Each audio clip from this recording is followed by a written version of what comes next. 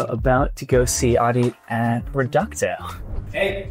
Yo, you're waiting at the top of the stairs. Thanks. What does Reducto do? Um, what's the headline of the company? So we are fully focused on building the most accurate way to parse, extract, edit content in any sort of unstructured documents or spreadsheet. We're fortunate to be able to work with some really cool companies for that. So a lot of the newer AI companies like the Legoras of the world, the Harveys, the Rogos, and also some really large enterprises like one of the five biggest hedge funds in the world, a bank company, and so on. We just see all sorts of cases where like given documents has been, you know, faxed and re-uploaded and has just been distorted all over the place. We see cases where it's like one page, but actually that page extends across and it's, you know, hundreds of pages worth in length. And legal, there are these fun pages that we call quadplexes where it's one page and it's actually a quadrant of four pages. Uh-huh. And so trying to capture really any of those I think is a hard thing. Like you don't know what your users are going to upload and you want to be able to make it work no matter what. Tell me about what's really working right now for you guys. For most of the company's history, we were actually a fairly small team. When we crossed a million in ARR for the first time, we were still a team of 4 mm-hmm. And now we have 19 people across the board. And it's nice to see that culture evolve, the way that the team interacts change and all that. I just love the feeling of, you know, the capacity for us to do more increase. We have more endpoints. We're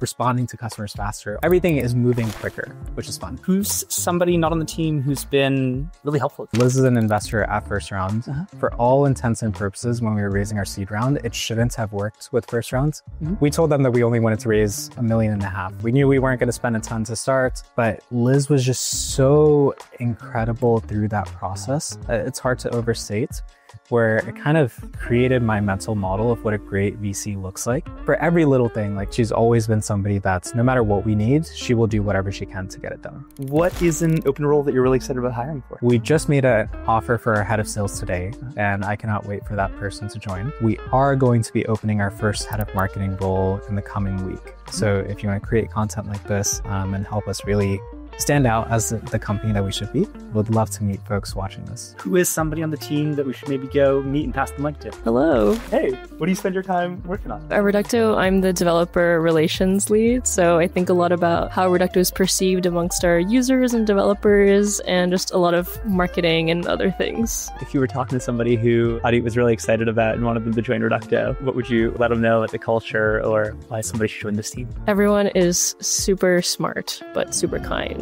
I used to be an engineer, but everyone is insanely technical here, which is not super common in a lot of startups. So you really get to just learn a ton because everyone's also willing to help you out, which is great.